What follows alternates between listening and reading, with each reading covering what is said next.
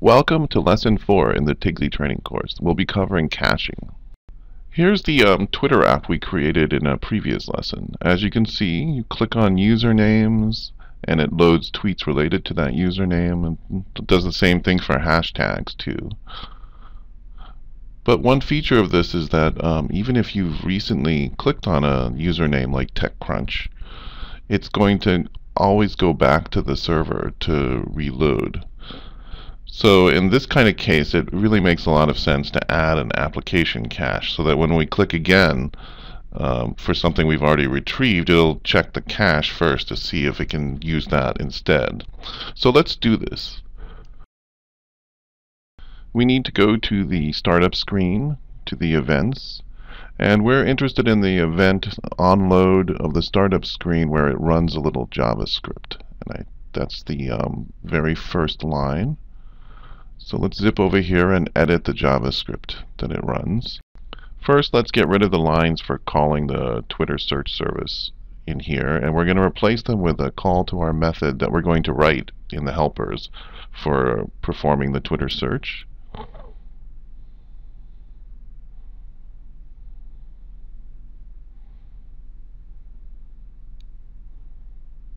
Let's apply the changes.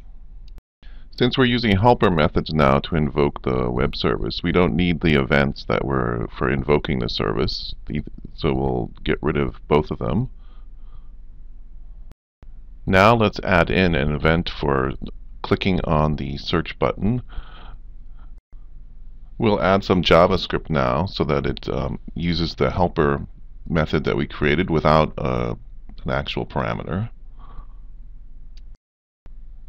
We have one more thing to set up before we get down to actually writing the JavaScript helpers. Um, we have to go to the Data tab and we want to select the Twitter search service well, on success.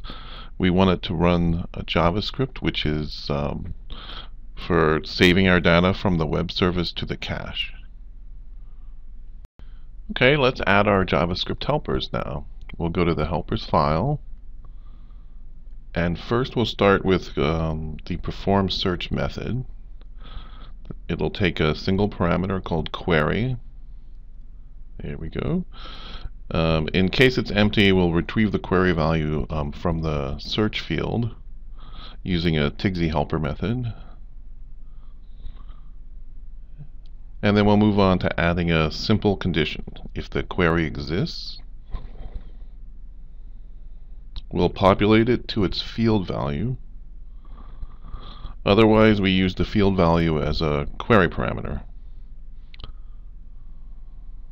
There we go.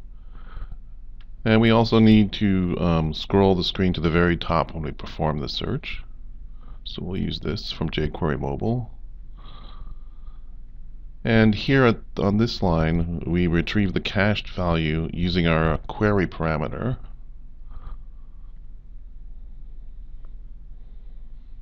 If the cache value exists, we call the Twitter search service's um, update components method using its data from the cache. Otherwise, if there is no um, cached value, we just execute the Twitter web service in the way we normally do.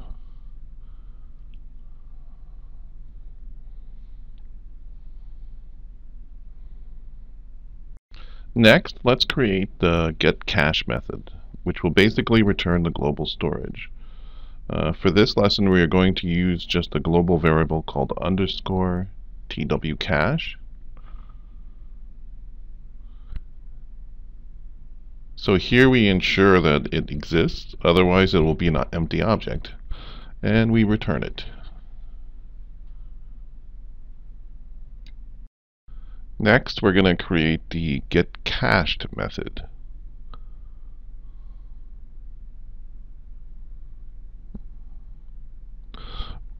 It'll return the cached value if it exists.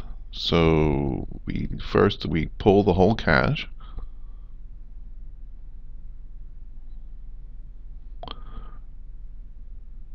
Then we just grab the um, cached entry for the specific query that was passed to this function. Next, we um, set up a conditional. If the cached entry exists and its timestamp is um, less than one minute from the current timestamp, then we'll return it.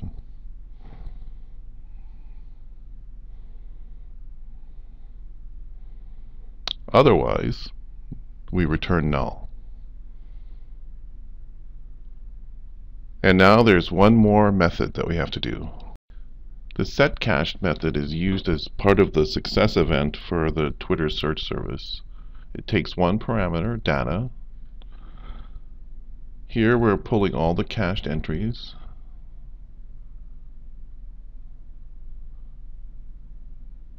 Next, we have to do some um, decoding of the data query parameters because of the way that Twitter returns them.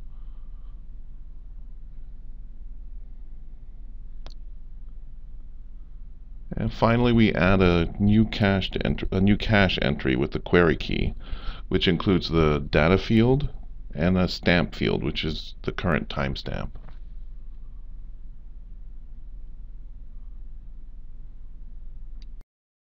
One last detail that we have to take care of is lowercasing the query parameters.